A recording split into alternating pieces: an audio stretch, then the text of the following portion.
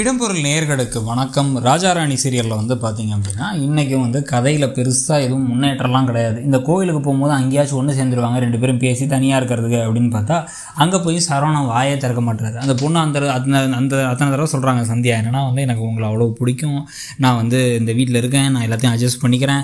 நீங்கள் நான் உங்கள் பொண்டாட்டி நீங்கள் என் புருஷன் அப்படின்னு சொல்லும் போது கூட இவருக்கு புரியவே இல்லை இன்னமும் வந்து இவங்களுக்கு நம்மளை பிடிச்சிருக்கு அப்படிங்கிற விஷயமே உங்களுக்கு புரியவே இல்லை. ஸோ அதனாலேயே வந்து திருப்பி திருப்பி மூஞ்சி உருன்னு வச்சுட்டே உட்காந்துருக்காரு ஒரு மாதிரி இரிட்டேட் பண்ணுற மாதிரி விஷயங்கள் பண்ணிகிட்டு இருக்காரு இதையெல்லாம் தாண்டி அடுத்து சந்தியாவுக்கு என்ன நடக்க போகுதுன்னு பார்த்தீங்கன்னா அந்த மழையில் நினைஞ்சதில் உடம்பு சரியில்லாமல் போக போகுது. ஃபியூச்சர் ஐபிஎஸ் அதை ஞாபகத்தில் வச்சுங்க அவங்களுக்கு உடம்பு சரியில்லாமல் போக போகுது. சரி அதனால் வந்து இவங்க என்ன பண்ண போகிறாங்க அப்படின்னா போகும்போதே திருப்பி ஆட்டோவில் போகும்போதே அவங்களுக்கு ரொம்ப குளிர ஆரம்பிக்க இவர் ஒரு சட்டையெல்லாம் கழட்டி கொடுக்க நெருக்கமாக இருந்து திருப்பி ஒரு ரொமான்ஸ் திருப்பி ஒரு பாட்டு இதெல்லாம் போட்டுருவாங்க.